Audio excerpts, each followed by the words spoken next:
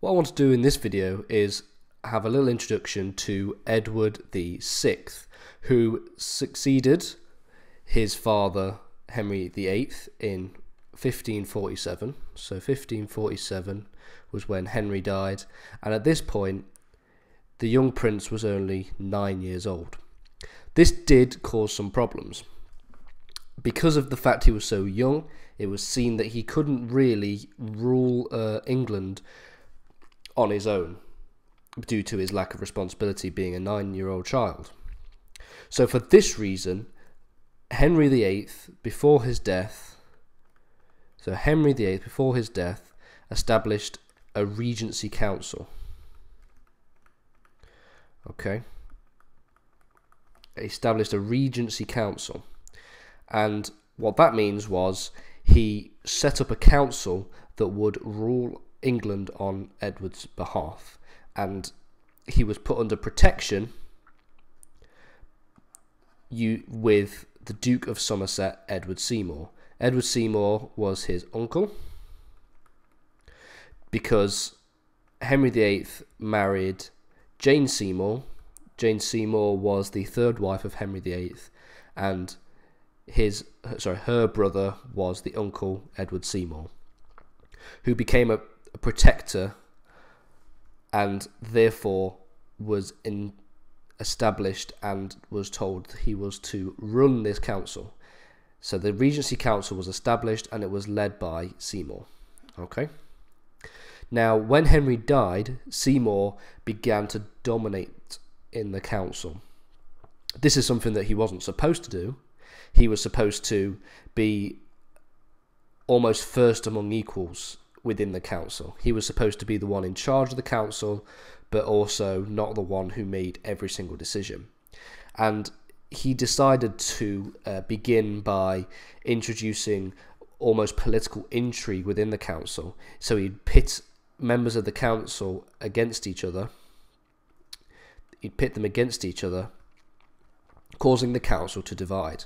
And so he was ruling, effectively ruling England on his own due to the fact that there was a council that was split and it was divided. Now, he wasn't a very strong political uh, leader. He was very weak politically, and no political talent. And we will go into a bit more detail about this in different, in separate videos, more looking more specifically at society and foreign policy. However, at the moment, we're just going to go in a rundown of the work that Somerset did and the work that Northumberland did afterwards. So things did begin to deteriorate for Edward Seymour when he failed to deal with the 1549 rebellion. We'll talk a little bit more about the 1549 rebellion later. However, you notice that this is only two years after Henry's death. So, Henry's death. So that really does give you an in, an indication of how things began to deteriorate. We'll talk about how things were deteriorating before Henry's death even happened. However, only two years in to Edward's reign, we have uh, the lack uh, of support from the people and therefore rising up into a rebellion. And this led to a coup. So a council, the council organised a coup to remove Edward Seymour from his position. So this was a number of reasons why. Mainly, it was his lack of ability to deal with this rebellion, to put this rebellion down. Another one was his arrogance. So he was an arrogant leader. And due to the fact that there were a number of foreign policy issues at this time, the country was suffering economically and financially. There were major problems with economics and finance during really the whole reign of Edward, but uh, exaggerated during uh, the protectorate uh, period of Edward Seymour. Edward Seymour was then replaced by John Dudley, the Duke of Northumberland.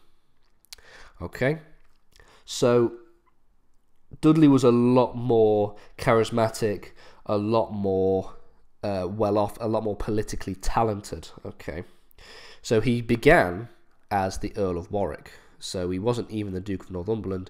He started off as the Earl of Warwick.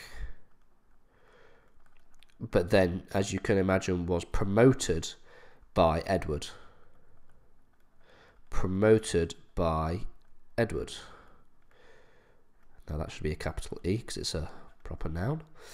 And then during this period of time, we have uh, a period of relative stability. Now, this is again when I say the word relative, it's rel- if we compare it relative to the whole Tudor period, this was still very unstable due to foreign policy issues mainly, and also religious problems.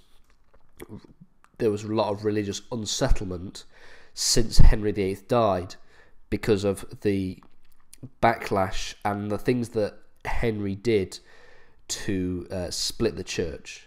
So we'll talk again. We'll talk about that in a later video on specifically religion during Edward's reign. But let's go back to uh, Northumberland. So he was able to put down the uh, 1549 rebellion and was able to restore law and order. So he restored law and order, law plus order at this point, and specifically restored law and order in the rural areas of England. Okay? Because that's where the majority of the rebellion began, in the more rural areas. So this allowed him to be promoted again almost as the Lord President by Edward. So Edward again did this. Bear in mind, Bear in mind, Edward at this point is only 11 years old. He dies at the age of 16, so you can work out he's only got a few more years left of his life and his and of his reign. Okay, so he again was a talented uh, politician, and due to this talent, he was able to uh, secure political and economic stability. Again, this is also relative. Okay, we're going to talk about it in more detail in another video, like I keep saying. Okay, this is relative.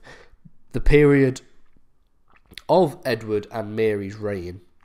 So, Edward and Mary's reign, if we just write it down here, Edward plus Mary was seen as a mid Tudor crisis this was a time when nothing was really stable. So we didn't really have a stable foreign policy. We had a very uh, lax religious policies. We had people jumping from uh, Catholic on Mary's side and Protestant on Edward's side, and there was a real conflict at heart deep in that divide. And therefore, we did have rebellion and foreign policy issues. So when I say that Northumberland achieved political and economic stability, we're talking relative to the mid Tudor crisis, not relative to the entire Tudor reign. And that's really it for Edward's Edward's the, the introduction to Edward's reign and an overview of the two main players in Edward's council, Somerset and Northumberland.